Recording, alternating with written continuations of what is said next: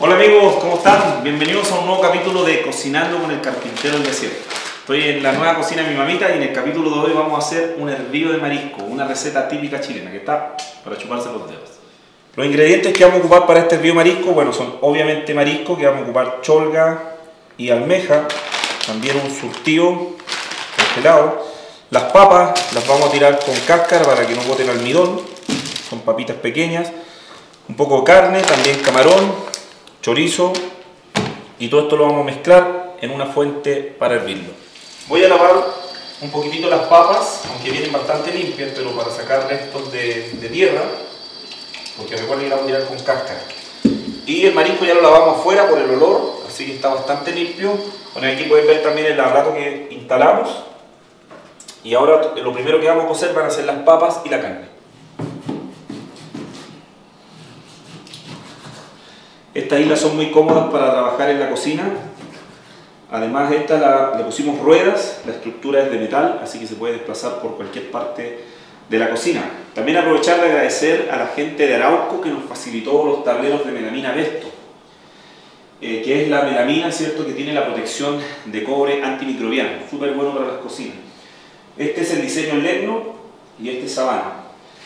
Así que bueno, eh, seguimos con la receta, dejamos hirviendo el agua, vamos a poner las papas que las lavamos y la carne, un poquito de, de sal, unos condimentos y cuando ya esté casi listo vamos a agregar los mariscos que no necesitan mucha cocción. Lo primero echar las papitas como hemos dicho, que son las más duras, también la carne, voy a echar un poquito más de, de papas también. Vamos a poner salsita, no tiene que ser tanta porque el marisco igual desprende un poco de sal y una pimentita y comino para darle ahí el, el, saborcito. Fue bastante trabajo porque tuvimos que cambiar toda la techumbre que estaba muy mala. Instalamos viga a la vista, viga de pirulegón, que es muy bonito. Y ahí ya estamos preparando el cocimiento. Nos vamos a pegar una castigadita día. Creo que la merecemos. La isla la dejamos abierta para instalar las ollas, sartenes y que sea de fácil acceso. También puse este cajón con un cubertero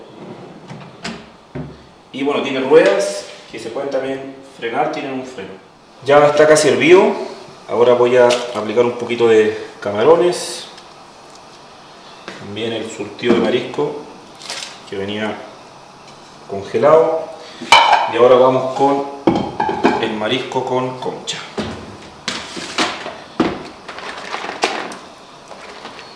Ir acomodando todo, que quede impecable.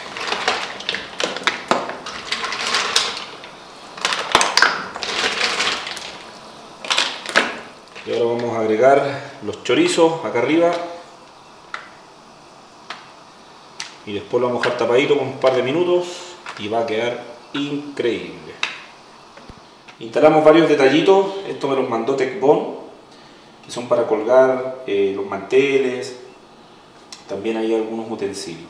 Todas las bisagras son cierres suaves de, de 35 milímetros, la cubierta es postformada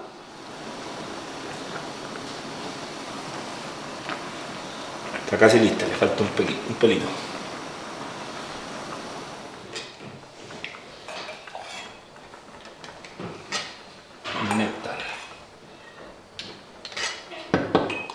Con este caldito vamos a preparar algo que los amigos peruanos llaman leche de tigre. Le vamos a echar un poquito de merquén.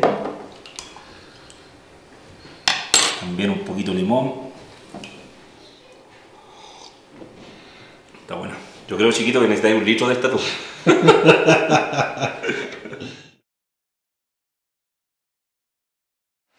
Padre, gracias por estos alimentos, gracias por este día, Señor, y por todas las bendiciones que nos has dado, Señor, por estar en familia. Te pido que bendigas, Señor, a cada uno de mis familiares y también estos alimentos y bendigas también a mi mamá, Señor. En el nombre de Jesús, amén. Amén. Amén. ¿Quieres decir algo? Sí, bueno, quiero dar gracias a Dios en primer lugar. Eh, él permitió todo esto. A mi hijo que se puso en todo. A mi yerno que se puso con esa linda cocina con mi hija.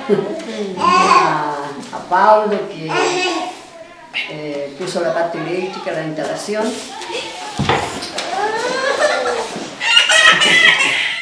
Con la caída del leito se interrumpió el discurso de agradecimiento de mi mamita. Gracias a Dios no le ocurrió nada al pequeño leito, eh, solamente fue el susto. Y bueno, para finalizar este video amigos, solo eh, transmitirles mi gratitud y mi satisfacción de poder hacer esto para mi mamá. La verdad que tenía este anhelo desde hace muchos años, creo que desde la juventud o la niñez tenía el anhelo de poder construirle una cocina así a mi mamita. Nosotros somos personas de esfuerzo que gracias a Dios hemos podido avanzar en la vida, así que construir esto para mí la verdad que es algo muy significativo.